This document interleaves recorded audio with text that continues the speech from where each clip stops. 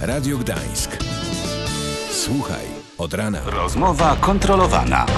A dzisiaj gościem rozmowy kontrolowanej jest Radosław Michalski, prezes Pomorskiego Związku Piłki Nożnej. Rozmawia Włodzimierz Machnikowski. Witam. Dzień dobry. Na temat dyżurny to oczywiście to, co zdarzyło się wczoraj w Londynie, a dotyczyło Warszawy, to znaczy e, ogłoszono, że finał Ligi Europejskiej w 2015 roku odbędzie się e, w Warszawie na Stadionie Narodowym, a dokładniej brzmiało to tak, Gianni Infantino stwierdził, że na Stadionie Zbigniewa Bońka w Warszawie. E, Żal, że nie w Gdańsku, czy pełnia szczęścia, że nareszcie Polska na tej mapie cokolwiek znaczyć będzie? No znaczyła, bo UEFA Euro mieliśmy udane, a teraz wracamy poniekąd. No na pewno chciałbym się mieć e, jeszcze więcej imprez w Gdańsku, ale zdajemy sobie sprawę, że, że jest to w ogóle pierwszy taki, taki finał e, w ogóle w Polsce, czyli cieszymy się, że jest, jest w Warszawie, cieszymy się, kibicujemy, że, że, że, że prezes Zbigniew Boniek e, doprowadził do finału. Także ja rozmawiałem ostatnio z człowiekiem, takim menadżerem bardzo wielkim z Włoch. Przyjechał do Polski, spotkałem go na Legii i mówi u, to my jesteśmy za wami 20 lat.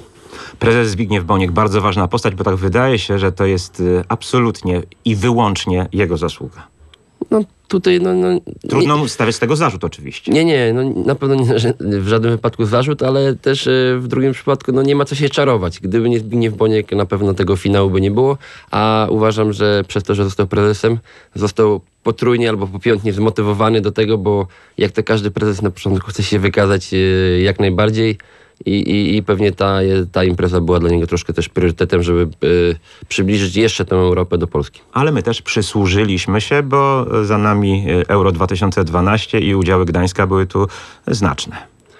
Tak, na, na pewno i tutaj chcę podkreślić, że, że jeżeli chodzi o y, kooperację PGA Arena, Pomorskiego Związku i, Pol i Polskiego Związku Piłki Nożnej, jest to naprawdę wzorowy kontakt. Jesteśmy praktycznie cały czas, e, cały czas e, na wymianie doświadczeń. Na, e, przyjeżdża nawet chyba teraz Maciek Sawicki, chyba 18 czerwca do sekretarz generalny Polskiego Związku Taka szara eminencja podobno. On jest autorem tych wszystkich reform.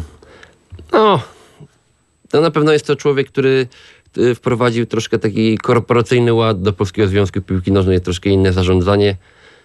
Zobaczymy na ile przyjdą efekty, bo, to, bo, no bo wiadomo, to jest dopiero początek, jest dużo zmian, a, a będziemy się rozliczać za dwa lata. Wszystko w Warszawie niestety nie czujemy się, czy nie jesteśmy zagrożeni, aby tym, że zostaniemy takim zaściankiem. Mamy przepiękny stadion, bardzo nowoczesny, mamy wspaniałą infrastrukturę towarzyszącą. Mamy byłego reprezentanta Polski na stanowisku e, prezesa Pomorskiego Związku przy okazji człowieka, który no, działa w tej samej drużynie, co Boniek i Kosecki.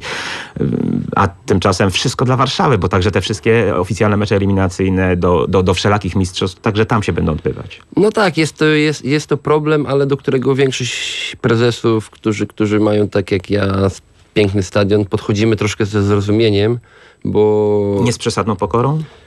Może powalczymy nie, jednak o coś więcej kwestia, niż Polska Dania. Kwestia jest taka, że, że no był moment, to nie jest taki, że wszyscy się poddali, położyli, dobra, panie Zbyszku, ma pan rację, nie? Tylko było troszkę inaczej, bo jak zostały przedstawione liczby, ile zarabia Stadion Narodowy na, na jednym meczu, a ile może zarobić każdy inny w innym mieście, to jesteśmy gdzieś tak o 7 razy słabsi, jeżeli chodzi o, o tylko mówimy o, koszt, o kosztach finansowych. I no i tutaj ciężko z taką tezą yy, powalczyć, no bo wiadomo, no te, gdzieś te pieniądze są przeznaczane potem dalej na dobro polskiej piłki nożnej, to nie są pieniądze, które związek sobie bierze i trzyma w kieszeni, tylko, no, tylko będzie, będzie pomagał innym klubom, a na razie trzeba się cieszyć, że mamy 14 sierpnia Polskę Danię. Ale mógłby się także kiedyś tam w jakiejś e, przewidywanej perspektywie odbyć mecz o stawkę.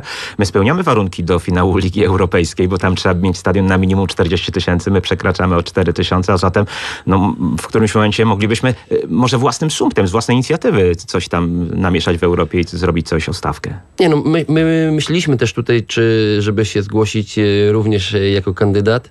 Y, tylko, że kwestia jest taka, nawet kandydat, próbowaliśmy też jego kandydata na, do tych Mistrzostw Europy w 2020, ale...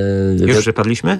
Niestety, niestety wiadomo jest, że jest tylko jeden stadion, który może, może wygrać i, i chyba z tego, co kojarzę, tak e, dla pomocy Stadionu Śląskiego, Stadion Śląski jest złożony jako drugi, ale to wiadomo tylko po to, żeby znalazły się pieniądze na jego dokończenie. A szans nie ma, wiadomo, że jak coś to będzie Warszawa. A zatem kibicujemy w Warszawie we wspólnym y, narodowym interesie, bo to coś w rodzaju takiego zrywu narodowego właśnie w tej chwili mamy. No tak, no, z drugiej strony też trzeba pomyśleć o tym, że ci piłkarze, którzy grają w reprezentacji po, po na przykład po kolejnych, nie wiem, 7, 8, 10, 20 meczach na jednym stadionie narodowym, naprawdę będą czuli się jak w domu. Je, jeszcze będą mieli ten dodatkowy handicap, a wiadomo, że w tym momencie w jakiej dyspozycji jest nasza reprezentacja, to trzeba im pomagać z całej siły, bo no bo na, na, razie to niestety nie idzie w dobrą stronę. Jutro w finale Ligi Mistrzów oba zespoły zagrają na wyjeździe. Bayern Monachium i Borussia Dortmund. E, kim, komu będzie kibicował?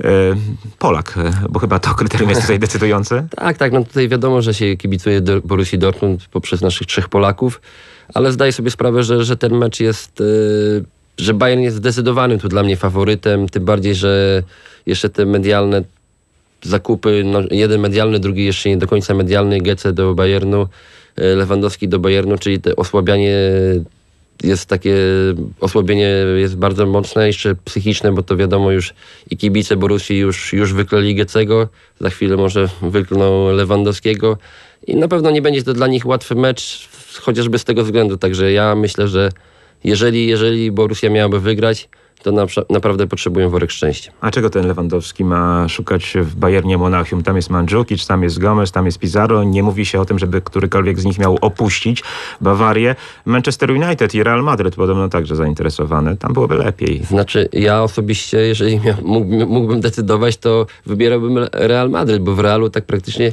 Benzen, jest Benzena i, i Guan, który chyba odchodzi z Realu, czyli praktycznie taka otwarta droga do, do, do ogromnych sukcesów.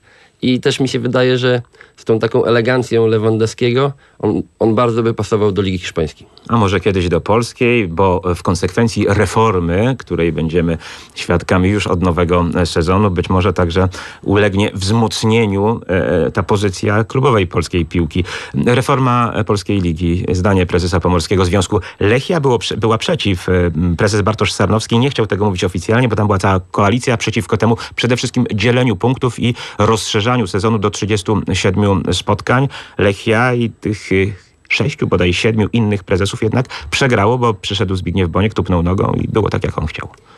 Tak, ale, ale ja akurat tutaj w wielu rzeczach zgadzam się ze Zbigniewem Bońkiem, ale akurat w tej reformy, w tym kształcie ja jestem, znaczy no moim zdaniem pewnie to będzie kolejna jednoroczna reforma. Ja, ja uważam, że jeżeli chcemy powiększyć e, liczbę liczbę meczów, to nie wiem, dodajmy dwie, dwie drużyny, grajmy 18 drużynową, drużynowym zespołem, bo ja uważam, że to w żadnym wypadku nie podniesie poziomu polskiej ligi, bo moim zdaniem, jeżeli spojrzymy na, na tą ligę w tym roku, jest naprawdę bardzo emocjonujące, bo tak jak w każdym wielkim kraju, dwie, trzy drużyny walczą o mistrza, 5, 7, 8 walczy o, o puchary, i ostatnie 6-7, czyli prawie wszyscy walczą o, o, utrzymanie. Czyli jest naprawdę emocjonująca. Każdy mecz jest o coś. Nie ma drużyn, które, które już nie grają o nic. Jeszcze teraz doszły sprawy licencyjne, że ci nie mogą zagrać. Nagle się okazuje, że nawet i Zagłębie Lubin może zagrać w pucharach europejskich, a nawet i Lechia przy, jakby na przykład wygrała swoje ostatnie trzy, trzy mecze. Także liga naprawdę jest bardzo emocjonująca, a przez to, że to, przez tą zmianę, którą moim zdaniem teraz jest dokonana, na pewno to nie podniesie poziomu, a my musimy iść w stronę, którą, e, gdzie byśmy pomogli, zrobili taką reformę, która podniosła poziom piłki nożnej. Wywołaliśmy temat Lechi. Radosław Michalski, jeszcze niedawno dyrektor sportowy Lechi.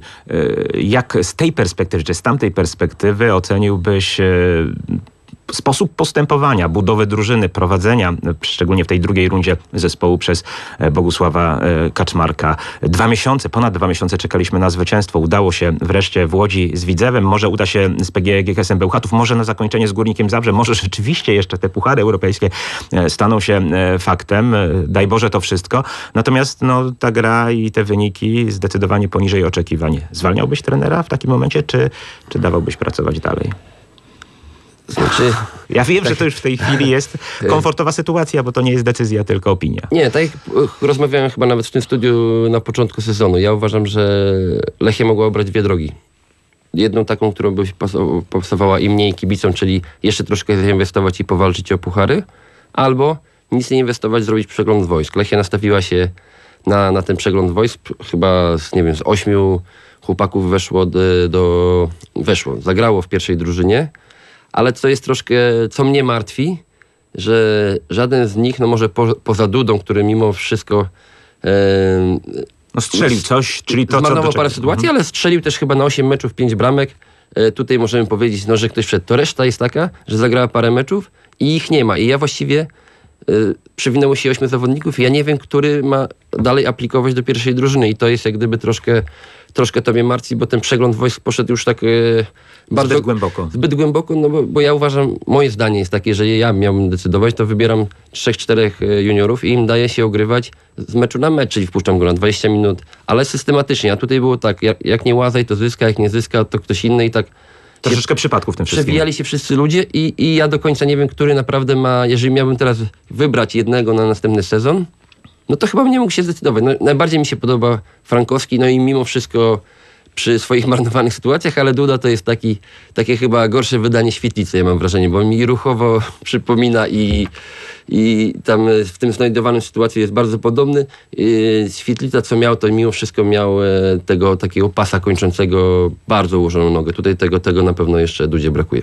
No na pewno wypromowali się jakkolwiek e, i Frankowski i Kacprzycki, bo oni brani są pod uwagę, e, jeśli chodzi o nominację do reprezentacji do lat 19. O tyle to ważna dla nas impreza, że odbędzie się na Pomorzu. Zacznie się to wszystko już 5 czerwca w Gdyni, a potem i- Starogard Gdański, i e, stadion Lechi, ten stary przy Traugutta, i zamek w Gniewie, gdzie wszyscy będą mieszkać, i Hiszpania w Polsce, no to zawsze będzie wielkie e, wydarzenie.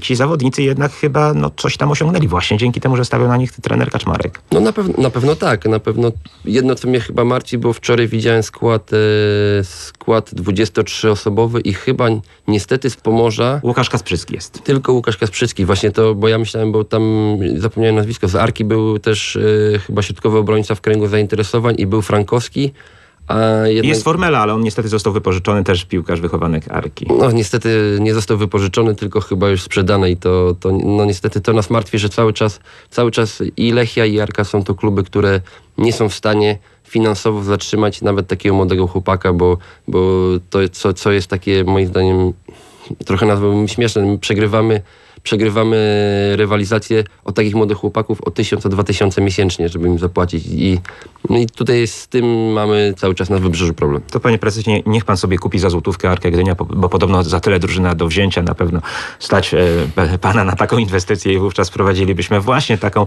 e, politykę bardziej prorodzinną z perspektywy Pomorza, czyli trzymali tych naszych piłkarzy do momentu, kiedy osiągają naprawdę ten poziom, no, jeśli nie europejski, to przynajmniej ogólnopolski. Nie, ale to naprawdę boli serce, bo jak patrzę takiego Budzińskiego w Krakowie, a nie ma go w Arce, to naprawdę zastanawia mnie to, gdzie jest sens i polityka, wychowywanie i walczenie z tą młodzieżą, bo to naprawdę nie jest łatwa sprawa doprowadzić ich do tego wieku, tego, do, już do tego przejścia z wieku z juniora do seniora, bo to jest jak gdyby ten newralgiczny moment.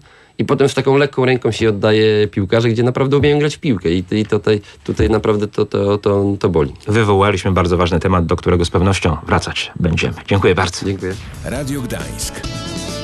Słuchaj od rana.